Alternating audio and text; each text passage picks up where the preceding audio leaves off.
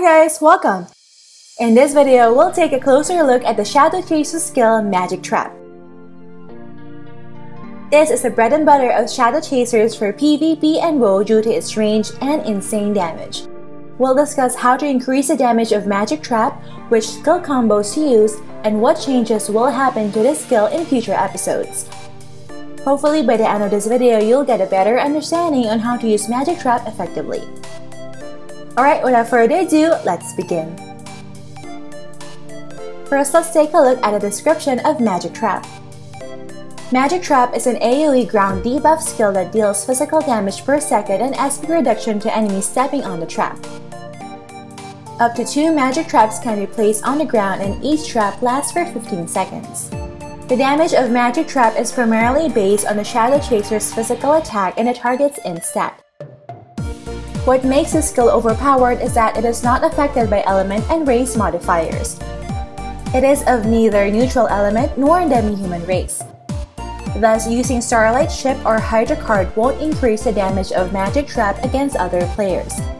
In addition, the damage taken from Magic Trap won't be reduced by enemies' neutral and demi-human damage reduction. Thereby, using Rager card or Frog card will not be of much help against this skill. So how can we improve the damage output of Magic Trap? The answer is we need to invest heavily on equipment, cards, stats, runes, and other things that can increase the following attributes. Physical attack, melee or range damage depending on the weapon you're using, ignore DEF, and DEF penetration. Let's first start with the equipment set. Increasing your damage output will largely be determined by the weapon you're using since the attack of bow users is based on dexterity, while the attack of dagger users is based on strength. Choosing between bow and dagger will depend on your playstyle and personal preference. For bow users, the best option is the Mystery Bow as it gives the highest raw attack power compared to other bows. Pair it with a Ninja Suit Moonlight to activate the Minoru card deposit effect. This will give 50% ignore DEF bonus when you also have 2 Minoru cards in your weapon. An alternative to the Ninja Suit Moonlight is to use a Tier 4 plus 10 Bohemian coat, inlaid with an Archer Skeleton Star card for higher damage output. Then put 2 Archer Skeleton cards on your Mystery Bow and deposit 1 on your handbook for additional 25% raw attack. The best enchantments to get are Morale for Ignore DEF or Arch for range attack. If you want to play with a dagger, then it is recommended to get either a Holy Dagger or a Sandstorm. A Tier 8 plus 15 Holy Dagger gives higher attack than a Mystery Bow. It should be coupled with a Tier 8 Thief Clothes to activate the deposit effect of Minorous card. However, if you want to use the Backstab plus Magic Trap combo, then Sandstorm would be better than the Holy Dagger as it does not need any set effect to activate the Minorous card Ignore DEF bonus. In addition, it gives high hit bonus to make sure that your backstab skill won't miss. The enchantments to get are Morale for Ignore DEF or Sharp Blade for melee damage. For the offhand, the best option for bow users would be the Niles Bracelet, as it gives 15% range damage. Upgrade it to Tier 4 for more dex and refine it to plus 10 for plus 2% range damage, or plus 15 for a total of plus 6% range damage. For dagger users, use a Rasa bracelet for plus 25% ignore DEF. The only garment that can increase the damage of Magic Trap is the Ancient Cape which gives plus 15% ignore DEF. As for the foot gears, the Rune Boots is best in slot due to the plus 3% attack it gives. For accessories, just use any which gives physical attack and plus 3 to 4% damage increase enchantment. It will also be good for dagger users to get a 4th enchant sharp blade for increased melee damage. For accessory cards, you may craft or buy a Zipper Bear Star card which gives plus 3% attack. You may also inlay the Marine Sphere card which lets you cast level 3 Magnum Break, which is a skill that increases attack by 20%. Next for the headwears, these are the suggested items. For the head, you may use the Cat Ear Beret, the Golden Antenna, or the Majestic Goat. For dagger users, additional options are the Rudolph's Horn or a plus 10 Helmet of Orc Hero. For headwear cards, the most ideal card to use is the Andre Star card as it gives physical penetration and ignore DEF. A cheaper alternative is the Rocker Star card which gives plus 2 dex and plus 20 attack. For the face, get a nut on head for additional 5% ignore DEF.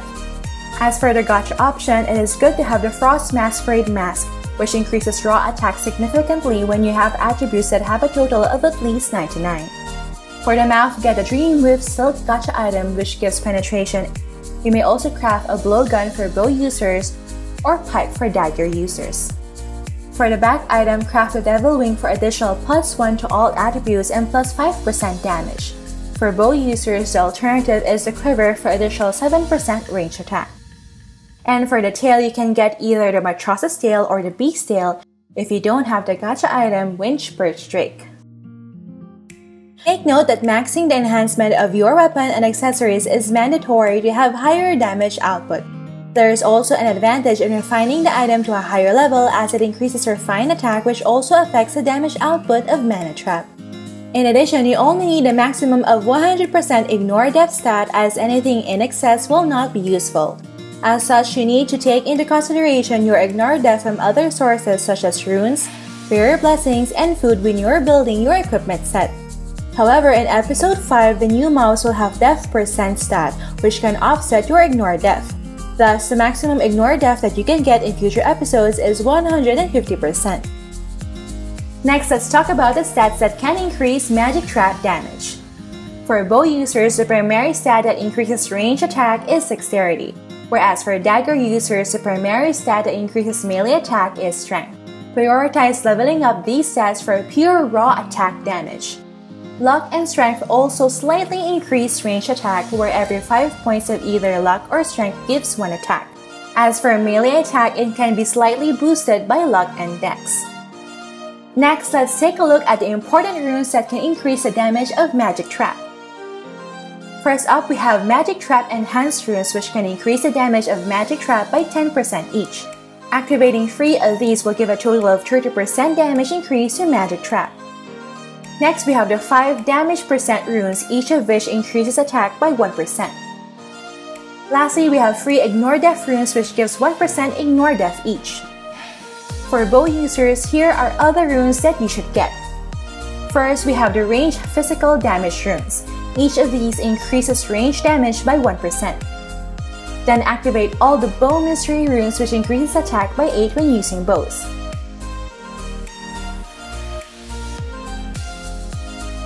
After that, proceed to the 10 Dex runes.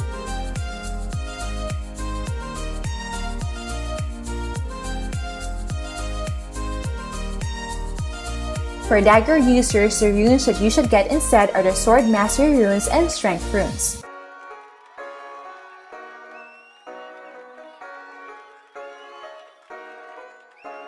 In addition, for added utility, you may get the Magic Trap Exorcism runes. These will increase SP loss of targets by 20 each. As for your remaining contribution points, just allocate them on nearby attack runes. As for the succeeding runes, it will be based on your playstyle and personal preference. Now let's talk about the other ways to increase magic trap damage. A good pet to have is the Desert Wolf Baby since it gives plus 5% DEF penetration at max skill level. Other good pets to have are the Deviruchi which gives plus 40 attack and plus 10 flee, or the Cruiser which gives plus 40 attack and plus 5% damage reduction at max skill level. Next for Guild Blessings, max out the Combat Blessings to 100 to gain plus 200 attack. Then for Attack Prayer cards, max them out in the following order. Physical Penetration, Ignore DEF, Attack, and then lastly is Damage to Demi-Human to prepare for future episodes. Then for foods aside from strength and dex meals, you need to cook and eat 4 to 5 star foods for a higher damage output. The best cuisine to eat would be the original Will seafood soup, as it does not only give attack but also increase ignore DEF which can help you achieve 100% ignore DEF. 6 of these would grant a total of 240 attack and 15% ignore DEF stat. Another way to increase dex and strength is to multi-job. For bow users, you can multi-job to Ranger for additional plus 10 dex. In the future, having a sorcerer multi-job will also give plus 10 dex. For dagger users, you can multi-job to Rune Knight or Genetic for additional plus 10 strength each. Last but not the least is to slowly build up your attack in the Adventure Handbook using headwear and card unlocks and deposits. Remember though that these tips are only applicable for increasing the damage of your magic trap. But in PvP and WoE, you need to have a balance between offense and defense. A dead Shadow Chaser won't deal damage, so survivability is as important as having high damage. Now let's talk about skill combos. To increase the damage of Magic Trap, you need to get level 5 Shadow Chase skill. This passive increases physical damage by 10% and attack by 10% while hiding. Then get the Plagiarize skill level 4 Enchant Deadly Poison from the Highland Parasite in the border checkpoint. This will increase your attack by 12% for 40 seconds. Magic Trap is best partnered with skills that immobilize enemies so that they stay within the area of effect. One of the easiest combos is to lay ankle snare straps on the ground and wait for opponents to be rooted. Then place two magic traps underneath the trap victim for an easy kill. To get ankle snare, you need to use level 7 plagiarism on punks in the clock tower first floor. This will allow you to set a maximum of 4 traps, each of which snares targets for 10 seconds. For dagger users, you can add magic trap to the ambush backstab combo to ensure the kill on high def and high flee players. Lastly, let's look into the future changes on Magic Trap. In Episode 5, Magic Trap will be more balanced as it will be force neutral skill and can be affected by element and race modifiers. That means its damage can be increased by Starlight Ship, Hydra card, Spike Scarf, and Hockey Mask. Archer Skeleton cards on weapon and handbook will still be useful but using elemental and race modifier cards will yield higher damage output. This skill adjustment will make Magic Trap more powerful against mobs. However, the drawback is that it can be countered by defense items that give neutral and demi-human damage reduction. Also, the Sage class will become available in the next episode, and their skill Land Protection can remove Magic Trap from the ground. Thus, Magic Trap will be more powerful in PvE but less effective in PvP. Nevertheless, it will still be of significant utility in PvP against high-end enemies such as Warlocks and Archbishops to drain their SP. In Episode 6, Shadow Chasers will have runes that give silence debuffs to Magic Trap. This debuff can ignore silence immunity so that it cannot be countered by Marduk card. Alright, so far we discussed the equipment, cards, stats, skills, runes, and all the other things that can increase Magic Trap damage. We also touched on the best combos to use in PvP and WoE and how to prepare for the future episode. I hope that with this guide you now have a better understanding on how to make your Shadow Chaser unstoppable. Alright, that's it for this video guys. Don't forget to like if you enjoyed watching this guide. If you're new here, I would love for you to consider subscribing by hitting your subscribe button down below. I would love to have you back.